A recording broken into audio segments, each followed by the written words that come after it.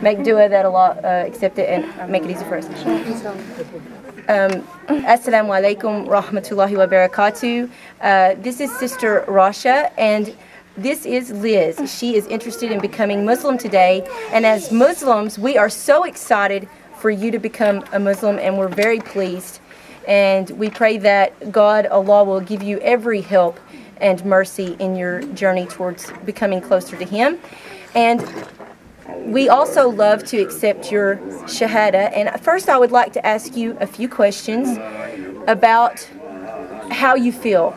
First of all, it seems that you're a little bit nervous, but you're also very excited about this new change in your life. Mm-hmm. I'm excited. Do you feel ready for it? yeah, I'm ready. I've been waiting for it. So And do you feel that you've studied enough and prepared enough to know and understand completely what it is that you're doing by changing your life and becoming a Muslim? yeah, so I can like feel it in my heart that it's the right thing. So And how about the support from the community? Do you feel like that you've had a lot of support from fellow sisters in Islam to encourage you and, and help you in every way? Mhm, everyone's really nice and they talk to me and they've been really helpful. They're all really nice. Okay.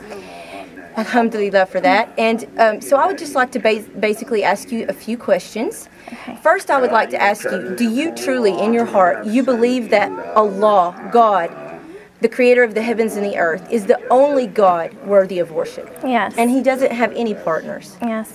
Alhamdulillah. And do you believe that Prophet Muhammad, peace be upon him, is the seal of the prophets, and that his message was that we must believe in them all, meaning that we have to believe in all the prophets from Adam to all the way to Moses and to Jesus and Muhammad as the seal of the prophets. Yes. Alhamdulillah. And you also believe that there are books, revelations from God, and that as a Muslim, you not only believe in the book of Quran, but you also must believe in the book that was given to Moses, which is the Torah, the Injil or the Gospels of Christ that were given to Jesus, mm-hmm. and the Psalms of David, as well as the Quran. yes, I believe in it. Alhamdulillah. And you also believe that there are angels around us, although that we may not be able to see them. Yes. And they help and support us. Yes. And they carry out the missions of God. Yes. Okay. And Liz, you also believe that there's a day of judgment and that we'll all be accountable for our own actions, correct? Yes. Okay, Alhamdulillah. Alhamdulillah. And do you also believe that there is a predestiny for every individual? In other words, you believe that everything is written before it happens and that God is in control of all affairs? Yes. You believe that it was written for you before you ever even existed that you would be here today? Yes, I believe this. then you basically have stated all of the fundamental beliefs of a Muslim.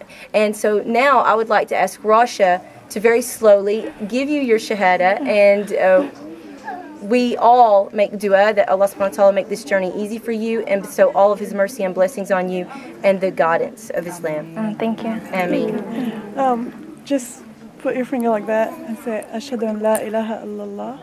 Ashhadu Ashhadu an la ilaha in la ilaha illallah illallah wa ashhadu wa ashhadu Muhammad Muhammad Rasulullah.